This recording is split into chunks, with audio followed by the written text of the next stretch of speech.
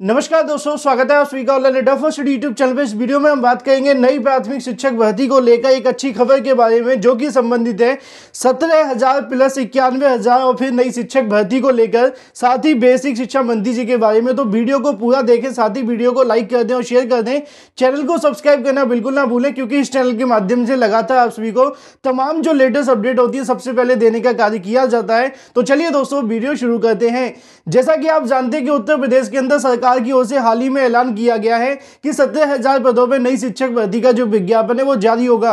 लेकिन इसको लेकर बहुत सारे अभ्यर्थी नाराज़ हैं। उनका मानना है कि एक बड़ी भर्ती का विज्ञापन जारी होना चाहिए, क्योंकि पिछले तीन सालों के अंदर कोई भी नई शिक्षक भर्ती बेसिक शिक्षा विभाग के अंदर देखने के लिए नहीं मिली थी।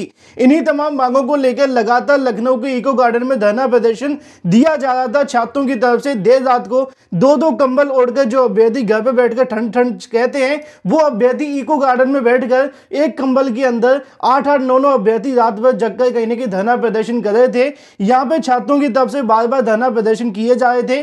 फिर 28 तारीख को एक बार फिर से धरना प्रदर्शन किए जाने की तैयारियाँ की जा रही हैं। लेकिन उससे पहले आप सभी के लिए राहत की खबर देखने के लिए मिल रही है, जहाँ पर बेसिक शिक्षा मंत्री जी के साथ छात्रों की एक बड़ी मुलाकात हो रही है, जो कि नई प्राथमिक शिक्षक भर्ती के संबंध में है। क्या कुछ कहना है छात्रों को, आप सभी उनके माध्यम से सुने। साथ ही इस वीडियो को लाइक कर दे और शेयर करना बिल्कुल ना भूलें। हम सब नई प्राथमिक शिक्षक भर्ती के लिए धरना दे रहे हैं। आपने देखा होगा, कुछ दिन पहले भाजपा कार्यालय में विधानसभा घेराव किए हैं और शिक्षा मंत्री आवास में घेराव किए हैं। आज भी पाँच सदस्यीय टीम को शिक्षा मंत्री महोदय से मिलवाने के लिए प्रशासन ने बुलाया था। हम सब इसमें विधानसभा के बगल में खड़े हैं। बस आपके माध्यम से ये कहना चाहते हैं कि प्रदेश सरकार और शिक्षा मंत्री जी जल्द नई शिक्षक भर्ती का विज्ञापन जारी करें। जिससे जो ये बेरोजगारी का इक्कीस लाख लोग जो नौकरी की राह देख रहे हैं उनकी मांग जल्द पूरी अगर हम लोग की मांग ये कहा है जो पुराने भर्ती हैं छः हज़ार पद अलग सत्रह हज़ार देखिए वो कहते हैं कि एक रोटी देख करके दो बिल्लियों को लड़वाने का काम कर रही है वही काम है कि ये जो सत्रह हज़ार निकाल रही है ये सत्रह हज़ार जो है अड़सठ हज़ार पाँच सौ की जो पदें दे रही है ये कहीं ना कहीं कोर्ट मामले में फंसेगा। हमारे जब इक्कीस लाख लोग बेरोजगार हैं आज आप चार बेरोजगारी का नमस्कार। बैच बैच पूरा करवा रहे हैं। आज जब आज इक्कीस lakh news twenty four seven पर सत्रह हज़ार का विज्ञापन दे रहे हैं। सुप्रीम कोर्ट का हलफनामा है। मुख्यमंत्री से मांग डिबेट चल रहा है और शिक्षा मंत्री से मिलने के लिए हमारी पाँच सदस्य टीम आ चुकी है। अभी जब आप देख सकते हैं कि जब इक्यावन हज़ार एक सौ बारह का सुप्रीम कोर्ट में हलफनामा तो हलफनामा सरकार ने दिया हुआ है तब हम सत्रह हज़ार का विज्ञापन क्यों लें? ये इक्यावन हज़ार एक सौ बारह सुबेदार सिंह के याचिका पर सुप्रीम सुनवाई में सरकार ने अपना काउंटर दाखिल करते हुए इन्होंने कहा था कि इक्यावन हज़ार एक सौ बारह पद रिक्त है जिसमें अगला मौका शिक्षा मंत्रियों को और अन्य लोगों को देंगे। तो आप बताइए सत्रह हज़ार का विज्ञापन देकर चुनाव देकर के चुनावी मौसम में कहाँ तक न्याय पहुँचा आगे की रणनीति सरकार नहीं सुनेगी तो हम लगातार प्रदर्शन करेंगे और लगातार अपनी मांगों को रखेंगे। अगर कल कल तक अगर हम लोग की मांग पूरी नहीं होती है तो कल विधानसभा घेराव हम लोग का लगभग पाँच से छह हज़ार संख्या में हम लोग विधानसभा का घेराव बहुत पूरे पूरे पूरे प्रदेश में उत्तर प्रदेश समस्त कोचिंग संस्थान बंद होकर के समस्त संस्थान बंद होकर के लखनऊ की धरती पर कल पहुँचने वाले हैं और कल आर पार की लड़ाई प्रदेश सरकार से लड़ेगी। धन्यवाद।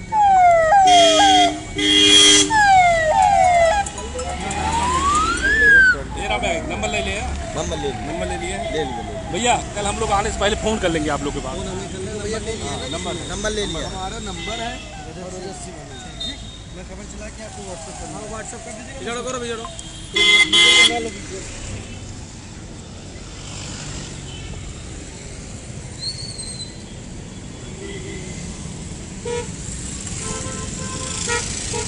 लाइव बंद करते हैं तो जैसा कि दोस्तों, आप सभी ने देखा कि छात्रों की तरफ़ से यहाँ पे तैयारियाँ कर ली गई हैं। सारी जहाँ पे बेसिक शिक्षा मंत्री जी के साथ मुलाकात देखने के लिए मिलेगी, जिसके संबंध में छात्रों की तरफ़ से मांग रखी जाएगी कि जो सरकार की तरफ़ से सत्रह हज़ार पदों पर नई शिक्षक भर्ती कराए जाने को लेकर फैसला लिया गया है, उसके अंदर इक्यावन पदों को जोड़ा जाए, जिसको लेकर सुप्रीम कोर्ट में एफिडेविट लगाया गया था। इसके अलावा यहाँ पे और भी तमाम मांगे आप सभी को देखने के लिए मिलेंगी। जैसे ही मुलाकात के बाद कोई अपडेट निकलेगी, सबसे पहले इस चैनल के माध्यम से आप सभी को दी जाएगी तो चैनल को सब्सक्राइब करके बेल आइकन को भी दबा लें। लेकिन वहीं दूसरी तरफ़ बात की जाए अपनी अगली अपडेट के बारे में, जो कि संबंधित है बाईस हज़ार को लेकर। जैसा कि आप जानते हैं कि बाईस सीटों को लेकर उनहत्तर हज़ार शिक्षक भर्ती में जोड़े जाने की मांग काफ़ी लंबे समय से की जा रही थी। लगातार अभ्यर्थी आज भी साठ पैंसठ को लेकर बैठे हुए हैं। उनका मानना है कि साठ पैंसठ कटों पर भर्ती कर दी जाए, उन छात्रों को नियुक्ति दे दी जाए। लेकिन सरकार ने इन बाईस सीटों को लेकर कोई फैसला नहीं लिया था। हाल ही में ये कहा गया था कि 6000 सीटें हम आरक्षण वाले छात्रों को दे देंगे। इसके अलावा जो 17000 सीटें बचेंगी, उस पर नई शिक्षक भर्ती कर लेंगे।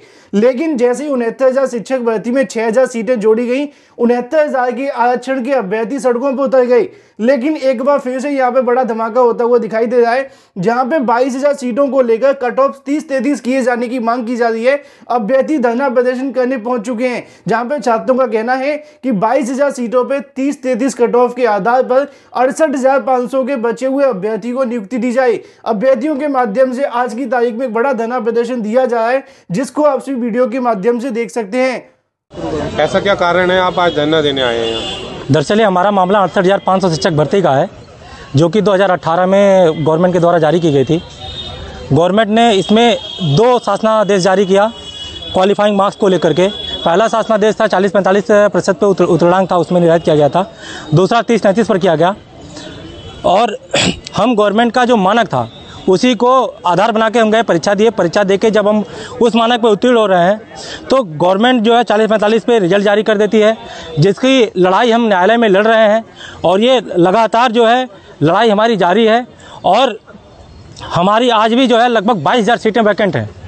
लेकिन गवर्नमेंट जो है, इसको अनैतिक तरीके से जो है छः हज़ार जो जो कि अभी तक उनहत्तर हज़ार में आरक्षण की जो विसंगतियाँ हुई थी, उनको दूर करने के लिए गवर्नमेंट जो हमारी छः हज़ार सीटें उसमें जोड़ रही है। जिससे जो हम न्यायालय की लड़ाई लड़ रहे हैं, वो हमारी लड़ाई कमज़ोर हो जाएगी।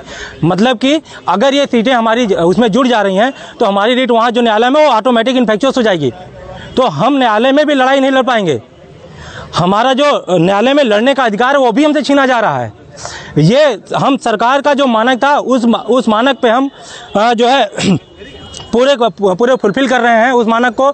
और जो है, हम एक अध्यापक बनने योग्य अभ्यर्थी हैं, लेकिन हम 2018 से लगातार जो है, पीड़ित हैं। सरकार के द्वारा जो भी दमनकारी नीतियाँ अपनाई जा रही हैं, हम उसका दंश झेल रहे हैं, लगातार झेले जा रहे हैं। और एक और नया दंश हमारे ऊपर लादा जा रहा है, नए तरह से हमें प्रताड़ित किया जा रहा है। हमारी सीटें जो है, उनहत्तर हज़ार शिक्षक भर्ती में जोड़ी जा रही हैं। हमारे पास इस आंदोलन के अलावा कोई ऑप्शन नहीं बच रहा है, क्योंकि हम इस लड़ाई को अब न्यायालय में अगर लड़ना भी चाहते हैं, जिस समय शीत शीतलहर की छुट्टी चल रही है, शीतकालीन अवकाश चल रहा है न्यायालय में, जो कि कोर्ट तीन तारीख लगातार बंद है, और तीन तारीख से पहले ये इन सीटों पे जो है भर्ती करने जा रहे हैं। तो हमारे पास और सड़क पे उतरने के अलावा कोई ऑप्शन नहीं है।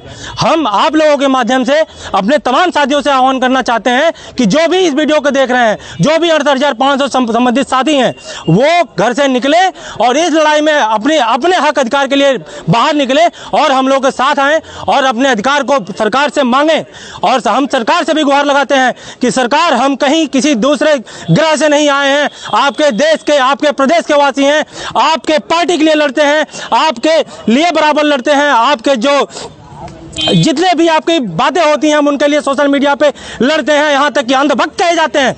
आज उन्हीं चीज़ों का हम खामियाजा भर रहे हैं। आप पे विश्वास करके हम खामियाजा भर रहे हैं। और इन, इस तरह की मतलब आप हमारा न्यायालय में लड़ने का अधिकार भी अगर हमसे छीन रहे हैं तो हम किस ग्राह पे चले जाए? हम कहाँ जाएँगे? हमारे साथ न्याय कौन करेगा? माननीय योगी जी।